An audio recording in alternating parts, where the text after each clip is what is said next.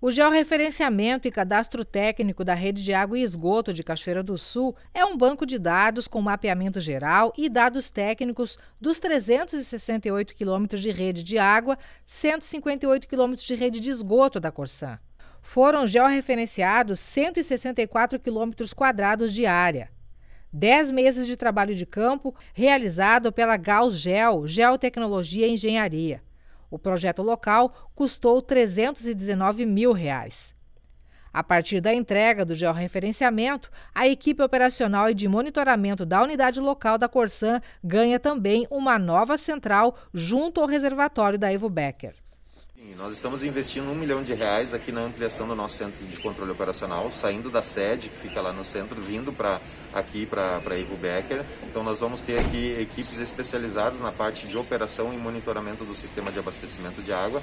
Nosso, nossa perspectiva é de até o final do ano fazer essa migração já com esse recebimento total do, além desse trabalho sendo entregue hoje, né, mais esse um milhão de reais agregados em tecnologias de informação aqui no município, principalmente nessa parte de acompanhamento em tempo online do sistema de abastecimento de água e esgotamento sanitário.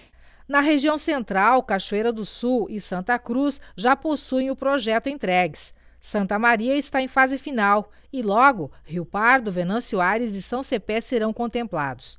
Os dados de todos os municípios serão centralizados no geoportal da Corsan. É um projeto estratégico da, da, da, empresa. Tá? A gente tem uma previsão aí até final de 2022 de estar com aproximadamente 90% das economias, de todas as economias da Corsan georreferenciadas. Então a gente está falando aí algo em torno de 2 milhões e 500 mil residências, né, economias está, estarão já referenciadas. Então é um grande avanço. É um grande banco de dados que se cria. Sim, com certeza. E isso aí a gente pode fornecer através de convênios para as prefeituras municipais, no caso aqui de Cachoeira do Sul, também para que eles possam planejar as intervenções deles, já sabendo onde as nossas tubulações costumam passar, enfim.